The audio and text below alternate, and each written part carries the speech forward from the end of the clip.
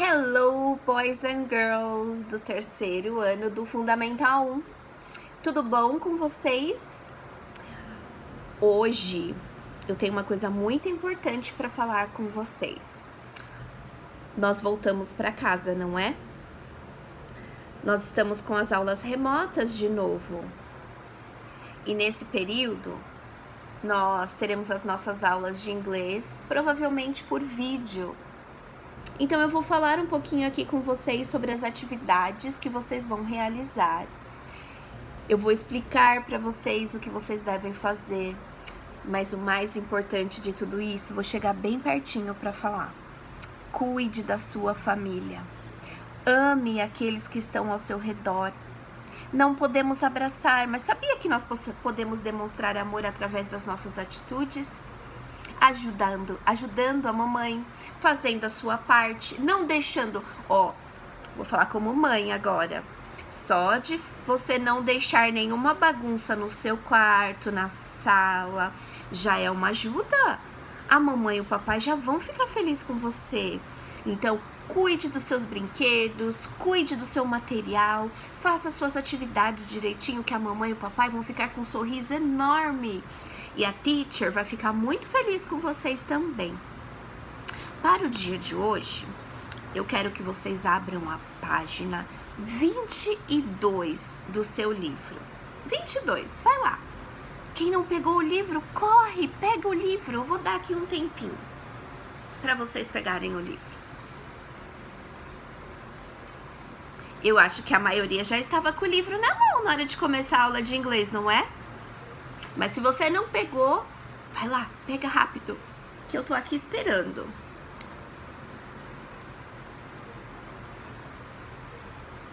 Bom, eu acho que já deu tempo para vocês pegarem o livro. Na página 22, eu tenho uma pergunta lá no começo, na questão 4, ó. Number 4. Question number 4. Who are you? Quem é você? Ah, Who are you? Olha, sabe o que você vai ter que fazer aqui? Colocar o seu nome. Não sei seu nome, mas o livro tá pedindo aqui agora. My name is. E sabe aonde você vai pegar as letras do seu nome? Em qualquer revista, em qualquer jornal, você vai recortar. Por exemplo, eu me chamo Kelly. As minhas letras são K, I, L, L, Y. Não entendeu? Eu falei em inglês, mas as letras do meu nome é K, E, L, L, Y. Eu vou lá no jornal, eu vou lá na revista, ou vou pegar um livro velho que eu tenho para recortes e eu vou recortar as letras do meu nome e vou colocar aqui. Tá bom? Aí depois na pergunta B, I have nanana, letters in my name. Aqui você vai colocar quantas letras você tem no seu nome.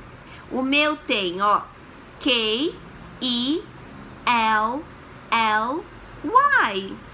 I have five letters in my name. Então, aqui nesse espaço, você vai colocar o number de quantas letras tem no seu nome. O meu é five. E o seu? Será que Ana? Tem alguma Ana aqui na nossa sala? A, N, A. Isso, three letters. Eu tenho também Pedro. P, E, D, R, O. Igual o meu. Five letters. Então, você vai contar quantas letras tem e colocar aqui. Teacher, e agora? E nesse espaço bem grandão que você tem aqui? O que você vai fazer? Ah, você vai desenhar você bem bonito. Você vai colocar aí como você é, o cabelo que você tem, como você costuma se vestir. Quer colocar o uniforme da escola? Pode colocar. Quer colocar um vestidinho que você sai para ir passear? Pode colocar de chinelo, pode colocar como você quiser. Se quiser colocar você de saia, de shorts dos meninos, quiser usar shorts. Ah, pro, eu quero colocar eu na praia, de biquíni, de sunga. Pode colocar. Do jeito, represente você. Draw yourself. Desenha você mesmo aqui nesse espaço. Tá bom? Vamos então explicar agora o próximo exercício da página 23. 23. Aqui no exercício number 5, no exercício 5, você vai colocar o nome da sua família. No A, my father's name is. Qual é o nome do seu pai? E aqui então você vai colocar o nome do seu pai. Na B, qual o nome da sua mãe? My mother's name is. Na C, qual o nome do seu melhor amigo ou da sua melhor amigo? My best friend's name is. E no último, my teacher's name. My name, Kelly. Você vai colocar aí na sua pergunta D. Tá bom? O que você vai colocar? Será que vocês entenderam? O nome da sua família. O father, mother, um amigo, melhor amigo, melhor amiga e o nome da sua teacher. Isso é para fazer no exercício number 5. Olha aqui. No exercício number 6, eu tenho o primeiro aqui como um exemplo. O que, que eu tenho aqui? Eu tenho listas que tá de nomes. As listas são de assim, tá? Então aqui, ó, Alison, Geography, Mary e Lucas.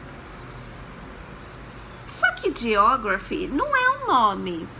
Então, eu vou riscar o Geography. Já tá aí o exemplo, né? E eu vou colocar um outro nome, tá? Qualquer um. Aqui eles deram Robert como exemplo, mas você poderia colocar Aline, Mark, John, Peter. Você que escolhe o nome. Na B, eu tenho green, purple, black e glue. Qual que é a palavra que não combina? Eu tenho cores e tenho uma coisa diferente. Você vai riscar essa coisa diferente que tá aqui e escolher uma cor para substituir. No C, eu tenho dias da semana: Saturday, Monday, Thursday e tenho four que é o 4. For é dia da semana? Hum, então você vai, se você achar que não é, riscar o for e colocar um outro dia da semana. E assim por diante. Então, na aula de hoje, esses são os, as duas páginas que vocês devem fazer, tá bom? A teacher está colocando essas explicações das páginas também no e-class Vou abrir o Eclass para que vocês postem essas duas páginas para mim. E eu vou ficar ansiosamente esperando para ver. Principalmente o desenho, hein? Quero ver um desenho bem bonito. Que vocês façam um desenho bem bonito. Ó, I love you all. A teacher ama vocês. Eu estou com muita saudade já, tá bom? Um beijo bem grande. Keep your faith, tenha fé pray, ore e esteja ao lado da sua família, tá bom? Beijo, meus amores. Até mais, até a nossa próxima aula. Bye, bye!